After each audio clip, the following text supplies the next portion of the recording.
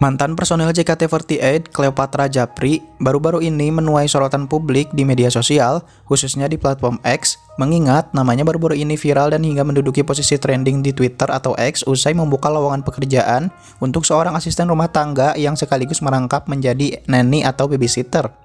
Namanya mendadak menyedot perhatian warganet karena informasi terkait lowongan pekerjaan yang dibukanya menyediakan gaji tak sebanding dengan banyaknya syarat yang dicantumkan pada keterangan loker yang ia sematkan tersebut.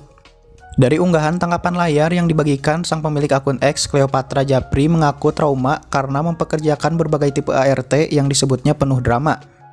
Oleh karena itu, melalui unggahan loker yang dibuatnya, Cleo membutuhkan orang yang benar-benar serius ingin bekerja dengan sejumlah syarat yang diajukannya.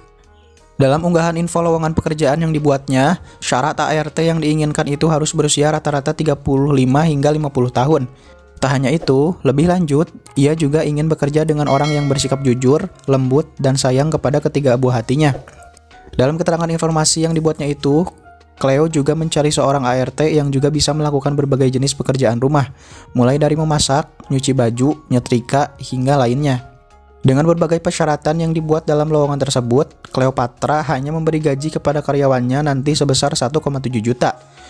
Sontak saja, unggahan lowongan pekerjaan itu viral di media sosial dan langsung menuai banyak reaksi hingga kecaman dari sejumlah warganet. Imbas dari persyaratan yang tertera dalam keterangan lowongan pekerjaan itu, Cleopatra Japri akhirnya diserbu warganet. Cleo dihujat habis-habisan karena dianggap melakukan perbudakan modern pada karyawannya nanti.